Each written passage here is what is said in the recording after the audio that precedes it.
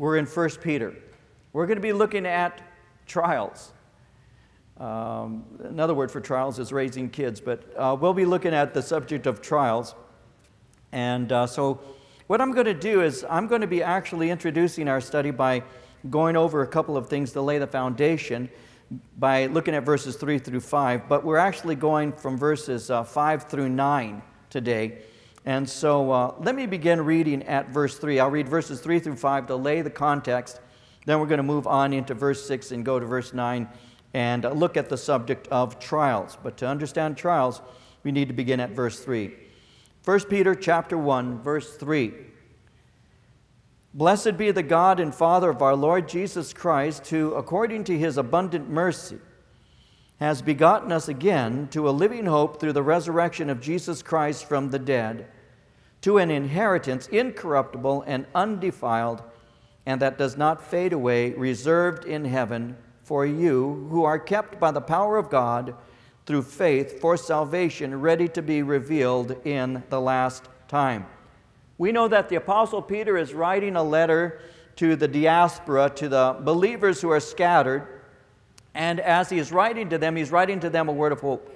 He has told them that they are pilgrims, that they are temporary sojourners just passing through. They're aliens living in a foreign land whose home is really someplace else. And he's already spoken to them in that fashion. And as he's been speaking to them as pilgrims, he had made it very clear to them that in order to be considered a pilgrim, you need to first and foremost be born again. That's what he had sp- spoken about in verse 3 when he had said that God, through his mercy, has begotten us again to a living hope. And so, as we've been looking at this passage, we know that the Apostle Peter has been writing to a group of people who understand the term being begotten again. Begotten again is another way of saying being born again. And as I've mentioned to you, the word born again or the words born again are not something that were coined by the church. We didn't create that. That's something that Jesus spoke about in John 3 when he said, Unless a man is born again, he cannot see, he cannot enter into the kingdom of God. And so, born again, being born again is a, a, word or a way of referring to what we would theologically refer to as regeneration, is receiving a new life. And the way that you're born again is first and foremost by understanding the fact that before you have life with Christ, you are literally dead in your trespasses and sins. That's what Paul says in Ephesians 2:1 that you are dead in trespasses and sins. You don't have spiritual life without being born again. And so, as the Apostle Peter is writing, he's writing to the ones who know that they've been born again, they've been begotten once again, and they know that they needed to, but because by nature they are sinners. The Bible makes it very clear that we, before we have a relationship with Christ, are by nature sinners. We sin because it is our nature to do so. We do not become sinners the moment we sin. We sin because we, by nature, are sinners. We're only doing those things that are natural for us to do. Now, there are those who would argue and say that children are born with a pure nature and they become sinners when they first do something wrong. But I believe that those who, who naturally I'll say something like that are people who didn't have any kids. Because if you have any kids, you know, it's Mother's Day, let's be honest. If, if you had any kids, you know that those kids by nature are monsters. They are little monsters. They, they need to be born again. They just have to be. I mean, they're just they're toothless little little monsters that they would they would kill you if they could, and and but they can't. They're only three months old. I mean, it's by nature. They cry about anything. They get angry about anything. You didn't, you didn't give them what they wanted when they wanted. And the first words that they learn when they can finally form words are me, mine, stop, no. Those are words that they say. And it's natural for them. There's something within them. There's something within them that's bound up within the heart of the child. And the scripture says it's rebellion. That comes from their nature. By nature, we are sinners. And as sinners, we simply do that which is natural for us to do. And so during the time of the writing, the Apostle Peter is saying, You've been begotten again, you've been born again. You had to be. Why? Because by nature you're a sinner. Now that's what Scripture says, Psalm 51 5. Behold, I was brought forth in iniquity, and in sin my mother conceived me. So by nature I am a sinner. And they knew that. And so, one, in order to be born again, you need to understand that by nature you have sin. You don't make mistakes or errors simply, they're not moral lapses of judgment. It is by nature that we do the things that we do. And our nature without Christ is sinful. And so as they were sinners, they also knew that they were captives, held in bondage. They were living in a cage that their sins had constructed. And their iniquities, their sins had actually formed a trap for them. That's what Jesus says when he says if a man sins, he's in bondage to that sin. Proverbs 5:22 says it like this, his own iniquities entrap the wicked man, and he is caught in the cords of his sin. You're trapped by it, held fast by it. You would stop drinking if you could. You'd stop smoking dope if you could. You'd stop being violent if you could. And you try, you even resolve, but you can't. There's something in you. There's a law of sin and death within you. And no matter how much you try, you realize that you're in bondage to it. You're in bondage to your alcoholism. You're in bondage to your, your, your vulgarity. You're in bondage to that pornography. You're in bondage. And that's what it is it's slavery, entrapped by it. So, one, by nature, I do those things that are natural for me, which are, according to Scripture, sinful. And two, they form a trap for me. I'm held captive by them. And then three, they knew that they'd be accountable for the lives that they lived. They knew that ultimately that they would stand before a judge and they knew the judge was God. Because that's what happens. Ecclesiastes 12:14 says, "For God will bring every work into judgment, including every secret thing, whether good or evil." God will bring it all into judgment. One of these days they will give an account of themselves before God, and they knew that. So they were in sin, in bondage to it, and one day standing before a judge, and they knew that they were guilty. But that knowledge, that, uh, that awareness within them had opened them up to a message that would bring freedom of salvation. And that's what the gospel message is intended to do. The gospel message is intended to give us freedom, not to continue in sin, but freedom to have victory over it, and a freedom to no longer be in bondage to it, and to know what it's like to have joy and peace and love and all the things that we desire so much but simply can't obtain. And so they heard that message in the gospel of Jesus Christ. And they received that message in the gospel of Jesus Christ. And they, they became aware of the fact that, that they could have life in Christ. And they opened their hearts to Him and acknowledge Him as their Lord and Savior. Romans 10 9 and 10 says that if you confess with your mouth the Lord Jesus and believe in your heart that God has raised Him from the dead, you will be saved. For with the heart one believes unto righteousness, and with the mouth confession is made unto salvation. And so these are people who have been begotten again. These are people who have been born again. These are people who at one time were slaves to sin through their nature and now have been set free by Jesus Christ. No longer are they afraid to stand before the judge because they know that they are now declared to be not guilty. They heard the message of the gospel, and instead of turning a, a deaf ear to it, they opened with faith and received those things that were said, embraced them, and were saved. Now they have a living hope. Now, this living hope that they have is Jesus Christ, who is our hope, but also it's a hope of resurrection. They, in other words, have a relationship with life Himself. Jesus said, I am the way, the truth, and the life. No man comes to the Father but by me. And so when you receive Christ, you who were at one time dead in your trespasses and sins are now made alive in Christ and you have a living hope because Jesus is alive and you shall live also. And beyond that, you also know that though you be planted in the ground, one day you'll be resurrected. You have a resurrection hope. In Job 14, verses 14 and 15, it says, If a man dies, shall he live again? All the days of my hard service, I will wait till my change comes. You shall call, and I will answer you. You shall desire the work of your hands. You're going to call me out of the grave, and one of these days I'll be with you. And now you're born again.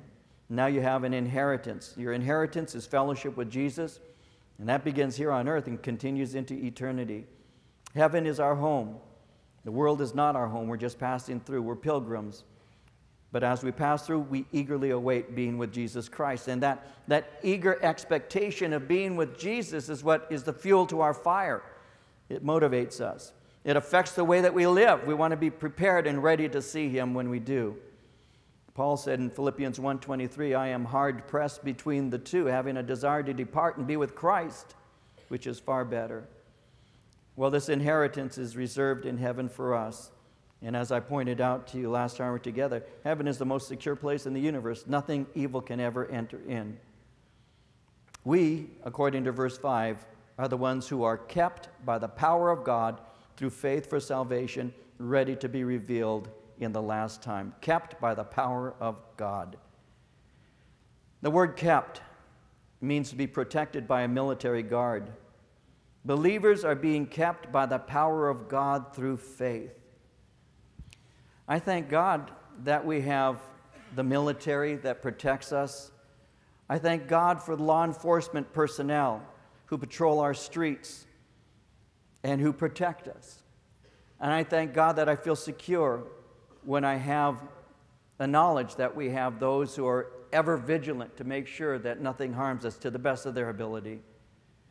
But I especially take comfort in knowing that my God is always vigilant. His eye is always upon me, his ear is always open into my prayer, and he has surrounded me, and that he will keep me. We are under attack, there's no doubt about it, but we are being divinely protected as we march to heaven, and we are protected by the power of God. We do go through hard times. Remember with me in 1 Peter that, that 1 Peter is actually written to those who are suffering. They're going through persecution, they're having trials, and they're having difficult times. And so he's writing to a group of people who are undergoing very harsh times. And he's saying to them, Listen, it may be difficult, but you're not alone. Though you walk through the valley of the shadow of death, you are not alone. God is with you. His rod and his staff, they will comfort you. He will protect you. He will be with you. He will never leave you, nor will he ever forsake you. And you, you need to understand that. But yeah, you are going through tough times. You are going to have opposition. Yes. I wish I could stand up here and preach a message that says, just give your heart to Christ and you'll never have a bad day again. I wish I could, but I'd be lying. Because I've discovered that as I gave my heart to the Lord, that sometimes walking in the world seemed to flow a lot easier. Because when I got saved, then the trials began to come, and then I began to have a war against my flesh and desires in my heart to do things that I shouldn't do. And I discovered that it isn't an easy walk, but it is worth the walk. It's, it's worth every moment of it. But we're going to have our difficulties, and, and the Bible is very clear about that. Paul, writing in 2 Corinthians 4 8 and 9, said it like this he said, We are hard pressed on every side, yet not crushed. We are perplexed, but not in despair, persecuted, but not forsaken, struck down, but not destroyed. We're knocked down, but we're not knocked out. We're walking with the Lord, and we're going to be victorious. We are kept by the power of God. Now imagine for just a moment what that means. What power is greater than the power of God? What is greater? What does God tremble at? What is God afraid of? Is there anything in this known universe that God is afraid of? That would say, Oh no, I was afraid you'd show up. I don't think so. God is afraid of nothing. What is more powerful than God? Is there any created being that is greater than He? There have been those who will say, Well, if God is so great, can He create a, a rock too big for Him to pick up? God is great, but He's not stupid. I mean, just because you put God before an illogical statement doesn't make that statement logical. The fact that God is God, and God being omnipotent, meaning He has all power, and God being rational, why would God, an all powerful, rational being, even be conceiving such an object? And so it makes no sense whatsoever. But people will use those arguments to try and say your God is not powerful. But God is. And what is greater than God? Who is greater than God? And if God is the one protecting us, if God is the one shielding us, if God's power is all around us, then that causes me to know that my life is under the continual watchful care of God Himself. We are kept by the power of God. And this power of God is provided in behalf of every believer, and it, it is ours through faith.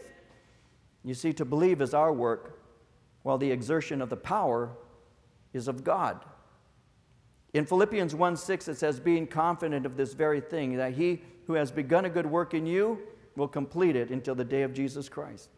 God began a work and God will continue that work and God will complete that work. And as I walk with Him, I have security in that work because my God is with me, never leaves me, nor does He ever forsake me. So, in the midst of all the assaults, in the midst of the attempts to destroy us, God is there. His power, unlimited. And He guards us. In the Psalms, in Psalm 91, verses 14 through 16, it says, Because he loves me, says the Lord, I will rescue him. I will protect him, for he acknowledges my name. He will call upon me, and I will answer him. I will be with him in trouble. I will deliver him and honor him. With long life will I satisfy him and show him my salvation. I will say of the Lord, He is my refuge and my fortress, my God in whom I trust. My God will secure me and I will trust him. That's how it works as a Christian. How is this protection experienced? What makes this real to us? Well, you experience and realize this through trusting God to be true to his promises.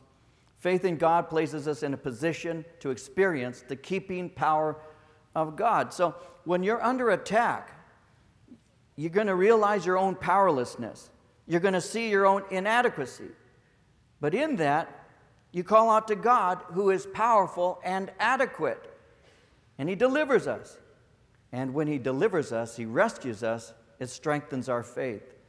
Like the psalmist said in Psalm 32, 6 through 8, Therefore let everyone who is godly pray to you while you may be found. Surely when the mighty waters rise, they will not reach him. You are my hiding place. You will protect me from trouble and surround me with songs of deliverance. And then God answers, I will instruct you and teach you in the way you should go. I will counsel you and watch over you. So we're kept through faith for salvation, ready to be revealed in the last time.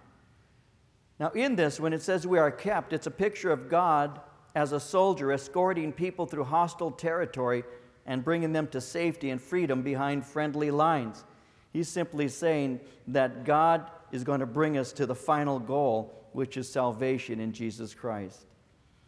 Now, what we need to do is we need to rejoice greatly in Him for that, because as, as He said all of these things, we pick up at verse 6, and He goes on to say this In this you greatly rejoice, though now for a little while, if need be, you've been grieved by various trials, that the genuineness of your faith, being much more precious than gold that perishes, though it is tested by fire, may be found to praise, honor, and glory at the revelation of Jesus Christ, whom, having not seen, you love. Though now you do not see him, yet believing, you rejoice with joy inexpressible and full of glory, receiving the end of your faith, the salvation of your souls we go through trials. We're going to be looking at trials because that's what the Apostle Peter is writing about. That's what he's referring to in verse 6. He speaks about being grieved by various trials. Suffering is never denied by the Christian. We recognize the suffering we go through as being temporary. And because we know that it is only temporary, we have the ability to rejoice because we know that not only are they temporary, but the result of going through trials is really going to be for our good. Now, we know that various testings are not part of God's original intent, but the testings come because of the fall. And we do have these testings that come. You can go through various things physical persecution, verbal assaults. You can be the victim of gossip. You have economic pressures, spiritual heaviness. You can have marital struggles. You have problems with your children. You can have physical illness. There can be problems in your home with your parents. You can have problems on the job. You can have problems with your neighbors. You can have problems with your in laws. You can have problems in a variety of ways. And we all go through them. Every one of us goes through these struggles in one form or another. Every one of us goes through trials. But the bottom line is there's a purpose in them. He says in verse 7 that the genuineness of your faith being much more precious than gold that perishes.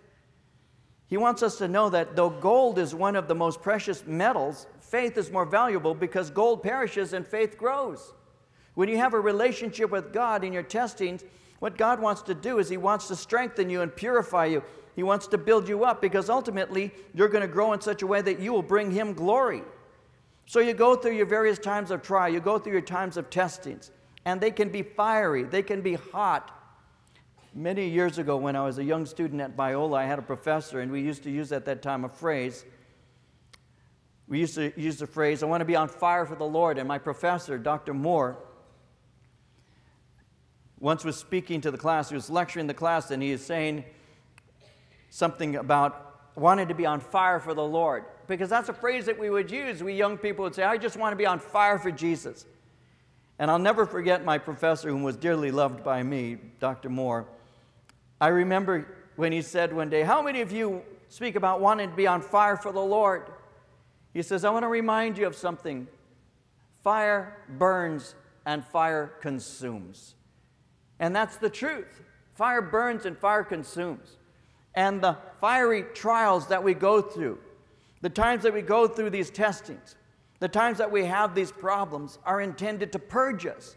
That's what we're going through. The refining fire is what it is. In Psalm 66, verse 10, the psalmist said, For you, O God, have tested us, you have refined us like silver. Proverbs 17, verse 3 says, The refining pot is for silver and the furnace for gold, but the Lord tries the hearts. And so we go through a refiner's fire.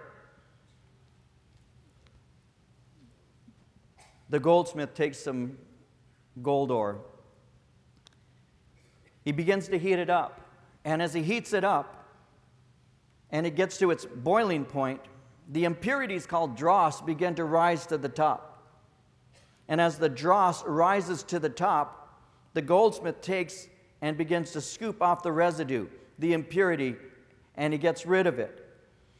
And he continues to allow it to boil, and the impurities continue to rise. And the goldsmith knows that it is pure when he can look into the gold and see his own reflection.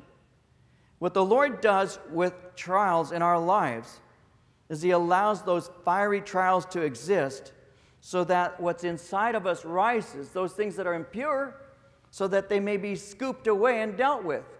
And the way that they're scooped away is through confession, because as you're going through this purging process, rather than it turning you away from God, it causes you to draw nearer to Him. And as you're crying out and saying, God, I need your help, through that refining process, these things are coming to the top, and then you begin to discover yourself confessing and asking God for help and asking God for strength and saying things to the Lord that you may normally, under different circumstances, not even consider. Because when you go through trials, that's what happens. Your faith is being purified. Trials have a purpose. Now, sometimes we don't realize what that purpose is as we're going through it. One of my favorite passages in the New Testament is found in, in the Gospel of John in chapter 13. It, it's the story where the Lord Jesus Christ is there at the supper, and where Jesus takes a basin and he takes a towel, girds himself, and begins to kneel at the feet of his disciples and begins to wash their feet. And as he's doing that, the men there are wondering, what is the master doing? Because the task that he's performing should have been performed by, by a house servant. And here's the Lord, here's a master who's actually divesting himself of, of his excellence, if you will, in their sight, and kneeling down as a servant, washing their feet. And as he's doing that, it horrifies his beloved apostle Peter. And, and when he comes to, to Peter, Jesus says to him, Are you washing my feet? You'll never wash my feet. And the Lord Jesus says, If I don't wash you, you have nothing to do with me. And that's where Peter says, Well, then give me a complete bath, my head and my feet. Just bathe me. And the Lord says, No, if you've been bathed, all needs to be washed is your feet. But then he goes on to say something, and one of my favorite scriptures found in John 13, verse 7, is What I am doing now, you don't understand, but later on you will. That is something I've learned over time. It's something that some of you are learning right now. When you're going through trials, when you're going through problems, when you're going through this moment of purging, you don't understand it. And sometimes you may be thinking, oh no, am I going to survive? This is taking so long. I remember a young woman approaching me after one of the services once, and she said, Pastor, can you pray for me? And I said, Of course. What can, we, what can I pray about? She says, I'm going through a trial, and it's so long. I've been going through it for so long. It's been three weeks. I smiled. I said, Shut up, get out of here. No, I, I it's been three weeks. Three weeks. For this young woman, three weeks was an eternity. But some of us have been going through trials for 30 years, for 40 years, They're called children. That's another story I'll teach you on children. Some of us have been going through trials and the same kinds of trials. As a matter of fact, we have been going through trials since the day we got saved and began recognizing them as trials. So some of them in your case have been just going on for as long as you've been saved. I've been going through 41 years of trials. One thing after another, one thing after another, one disappointment after another, one painful experience after another, one thing breaking one finger off, then breaking another thing, and another finger off until my hands are completely free. I've got nothing to cling to except the Lord. And trials are that way. They go on and on and on. It's like sometimes you're at the beach and you're, you're surfing and the, the wave crashes over you and you go down and you come back up, you grab some air. And here comes another wave. You go down, you come up, and you finally think, I can't hold my breath any longer. Then you have a still for a moment. Then you rest, and here comes another set. Trials, one after another. And some people will say, What's the purpose of this? Where's God? I thought He loved me. Lord, I'm groaning to you. My, I've made my bed to swim in my tears. I have cried out night and day, and it doesn't seem like you hear my voice. It seems like that heaven is brass and that your ear is deaf unto me. What's going on? There are a lot of people who understand what I'm saying. A lot of people. Lord, I dedicated this child to you, and look where they're going now. Father, we got married and we made our vows to you, and look what my marriage has become. What's going on in my life?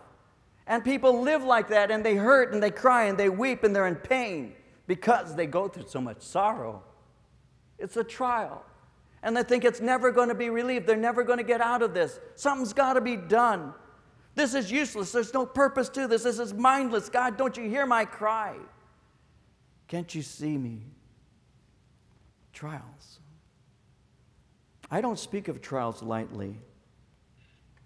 I don't try and give pep talks to make you feel good because I know that some surgery is painful and some things take time to heal from. And it doesn't happen overnight sometimes. It may take a lifetime for you to finally get your feet once again stable in certain areas. Not because you have no faith, but sometimes because it's just a prolonged thing that's occurring. So I don't speak lightly of trials. I've seen too much loss. I've been to too many funerals and seen too many hurts and have heard too many stories. But I can tell you that they have a purpose. I can tell you that God does not leave you nor forsake you. I can tell you that He works His good through them. I can tell you He conforms you into the image of Jesus Christ. I can tell you that He'll break you. He'll break you and He'll break you again until you're like He is. He will break your heart. He will allow it. That doesn't sound good, does it? But it's true. He'll bring things into your life because He loves you and because you have said, I want to be like you. And you have failed to realize He is a wounded healer. He was bruised for us. And if you're ever going to have compassion, you're going to go through things that test and stretch it. If you're going to have patience, you're going to go through things that will test and stretch your patience. If you're going to learn to love, you're going to be hooked up and be around those who, to be honest with you, are not very lovable at all. You're going to find yourself, if you want humility, you're going to find yourself the, the, the, the brunt of accusations and gossip. You're going to find sometimes when you want fellowship that you're going to become lonely because sometimes a walk with Christ seems to be lonely. But it's in those dark moments and it's in those quiet times when the Lord speaks most clearly to you and you hear Him and you're comforted more by Him at that moment than any other time. And what trials do is they actually refine you, they actually show you what's inside of you. It's like what Charles Spurgeon once said. He said, Trials teach us what we are. They dig up the soil and let us see what we are made of. They break up that, that fallow ground and they show us what's beneath it. It's like what Jeremiah 12:3 says, "But you, O Lord, know me. You have seen me, and you have tested my heart toward you." You see, trials have a purpose. They reveal what is really in us, and also they strengthen us because going through trials teaches us to wait on the Lord with faith and with confident expectation. That's why James said, My brethren, count it all joy when you enter into various trials, knowing this, that the trying of your faith works patience. But let patience have her perfect work, that you may be perfect and entire, lacking nothing. God will work through them. You don't get discouraged because you know my God is around, my God is with me, my God will not only cause me to survive, but I will thrive and I will become more like Him. And you learn something about the character of God through your trials. You learn that He is good. I was speaking to you of Job recently. When you begin to read the book of Job and you see in the first two chapters the challenges that come through Satan, how that the enemy, Satan, was actually questioned by God when he asked him, Where have you been? And Satan responds because he has to, and he says, Well, I've been going to and fro. I've been back and forth looking for some evil, something to stir up, is what he's saying. I've been going to and fro throughout the earth. Have you considered my servant Job? When God speaks to Satan and says, Have you considered my servant Job? Have you put him to the test? Have you put a magnifying glass to his life? Have you looked to see if there's a weakness in his character? Have you something to say about Job? Well, yeah, I've considered him, I've seen him. You put a hedge about him, and I can't touch him. But if you took all his possessions, he'd curse you to your face. Oh, really? Take his possessions. There goes Satan to do his evil things that he does. And everything that Job has, including his children, is taken from him in a very short time. But in all of this, Job did not sin against God with his lips. Naked I came into the world, naked shall I leave it. Blessed be the name of the Lord. Again, the enemy says to him that he's been going to and fro. Have you considered Job? Oh, yes, of course. But if you touch his skin, you took his possessions, but if you take his health, he'll curse you to your face. And God gives him permission. We know the story. You can touch him, but you can't kill him. And before you know it, this man who was of great import, this man who was so totally respected by his neighbors and all who had ever heard of him, is sitting in a heap with a broken piece of pottery, scraping the scabs off of his skin that is so filled with pus and infection. And here comes his friends who sit there silently with him and then finally break the silence by making accusations. There's his wife who says, How long will you keep your integrity? Curse God and die. Thank you, baby. I love you very much too, but Probably not the wisest thing that anybody could do curse God and die. And we know the story of Job, how he went through so much pain. The man who at one time was so respected has become the song of children and fools. And finally, as he's arguing with these men, his comforters, who we have now proverbially referred to as Job's comforters, because they bring bad counsel in your time of pain, they still exist. Job's comforters. Oh, you've sinned. You must have thought something, hidden it in your heart, but God saw it. And He took away your health and He took away your wealth. And the reason you're going through this is because there's some secret sin you have to deal with, Job. And he argues with them for all those chapters in the book of Job till finally God makes his appearance in the book again and speaks to him basically first by saying, You think you know everything? Let me ask you some questions. Gird yourself like a man and respond to my questions. Where were you when I told the sea to go this far and no further? Answer me if you can. Do you know the names of all the stars? I can. I can tell you, I can speak to you their names. I'm the one who cast them out there. I created them all. Where were you, Job? Did I ask your advice on how to do this? No. And as God begins to speak to him in that ironic method Job is just there. Finally, he's, he says, I've spoken without thinking. I cover my mouth. I am in sackcloth and ashes. I have heard of you with the hearing of my ear, but now I have seen you with the seeing of my eye, and I abhor myself. I'm sorry. And the God, our God began to minister to Job and restored him, and he went through all that pain. And that's why James, again in chapter 5, verse 11, it said to us, Indeed, we count them blessed who endure. You have heard of the perseverance of Job and seen the end intended by the Lord, that the Lord is very compassionate and merciful.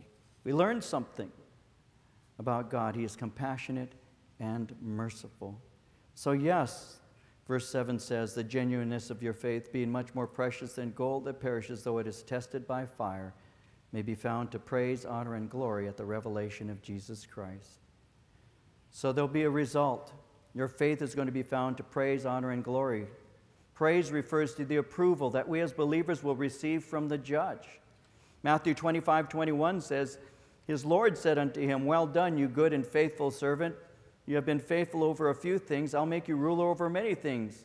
Enter into the joy of your Lord. Well done. That's what you want to hear one day, and you will hear it. Praise. You will have honor. Honor refers to the honor that God will give to his children in his kingdom. Today, men look for honor from other men. We want to be honored by other men. And our honor that you receive from other men, other people, lasts a short time. People think you're the greatest as long as you're a superstar. They think you're wonderful as long as you're getting hits and home runs. But what happens when you go over 100 at bats without a home run? Any Angels fans in here?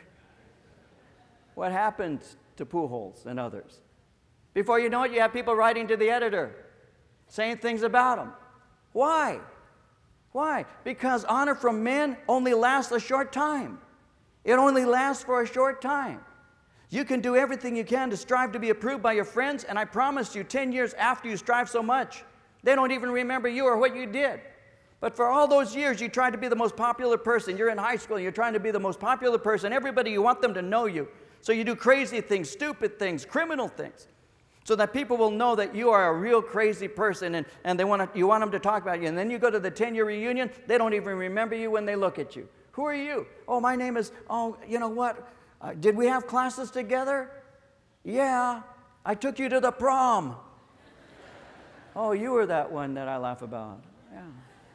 What happens?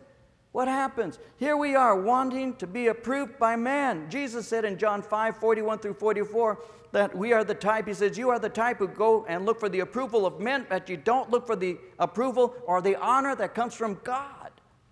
If you're going to be seeking honor, make it honor that comes from God. John 12, 26 says, If any man serve me, let him follow me, and where I am, there shall my servant be also. If any man serve me, him will my Father honor. And then he says, You'll receive glory.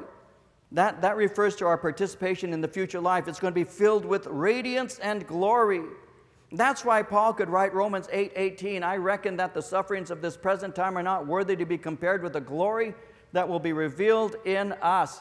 It's worth it. Everything you go through, it's worth it for the glory that one day will be revealed at the second coming of Christ. This occurs at the revelation of Jesus Christ.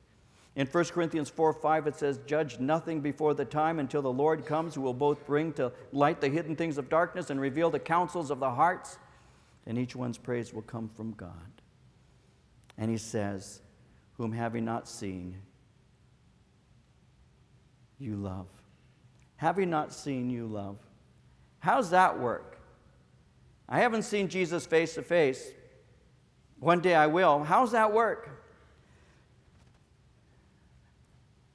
So a woman goes to the doctor. She hasn't been feeling well. Her husband says, You ought to go in and talk to the doctor. And she goes in and she has a test. Doctor asks a few questions, gives her a test. We used to call it the rabbit died. You're pregnant. You want this baby. You'd been desiring this baby. And now you're pregnant. But you don't look any differently. But you know that within you there's life. You haven't been gaining a lot of weight. That occurs later. And you come home and you say, Baby, I'm pregnant. Then you peel the husband off the floor and he says, Oh, really? Who's the father? You are. I'm pregnant. Don't look any different, but you're starting to feel different. A month goes by, a second month, a third, a fourth. You start gaining a little weight. By the fifth month, you begin to put on some weight. You're starting to feel movement in your womb. You're starting to get used to the baby's habits. At a certain, certain point, you begin to feel the kick.